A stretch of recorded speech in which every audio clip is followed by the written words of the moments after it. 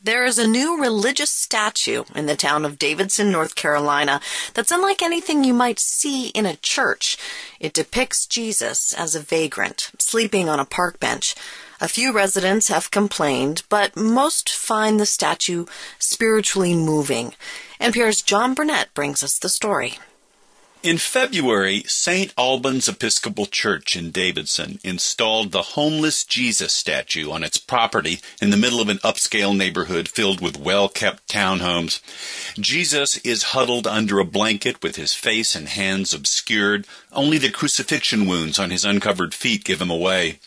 The reaction was immediate. Some loved it and some didn't. One woman from the neighborhood actually called police the first time she drove by. She thought it was an actual homeless person. That's right. Somebody called the cops on Jesus. David Boraks is editor of DavidsonNews.net. Another neighbor who lives a couple of doors down from the church wrote us a letter to the editor saying it creeps him out.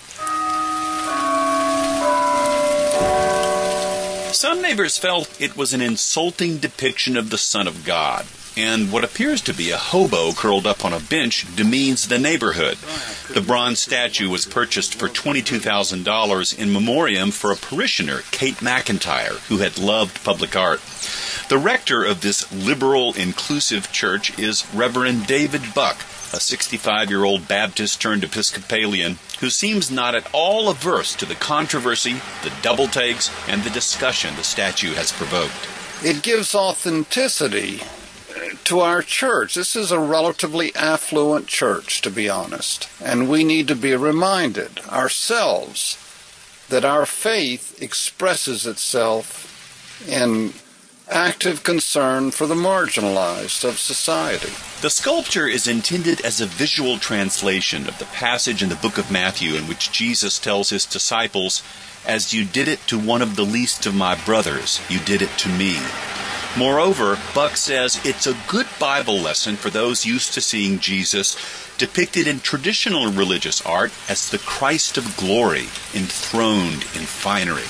Because we believe that that's the kind of life Jesus had. He was, in, a, in essence, a homeless person. This lakeside college town north of Charlotte has the first homeless Jesus statue on display in the United States.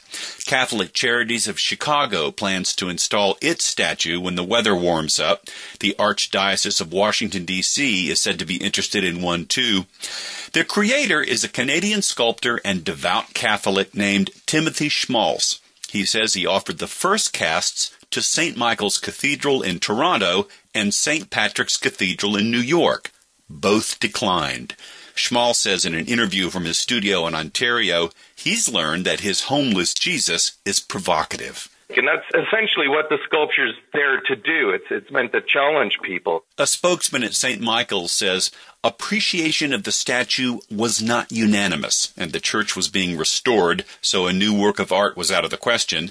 That statue has been placed in front of the Jesuit School of Theology at the University of Toronto. A spokesperson at St. Patrick's in New York says they liked the homeless Jesus, but their cathedral is also being renovated and they had to turn it down. The most famous installation, hands down, of the bronze Jesus on a park bench will be on the Via della Conciliazione, the avenue leading to St. Peter's Basilica. That is, if the city of Rome approves it.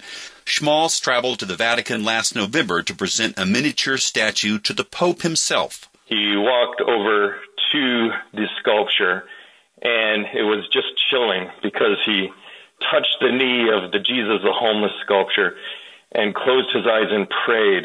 And it was like uh, that's what he's doing throughout the whole world. Uh, Pope Francis is reaching out to the marginalized.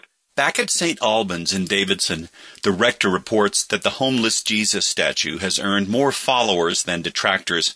It's now common, he says, to see people come, sit on the bench, rest their hand on the bronze feet, and pray.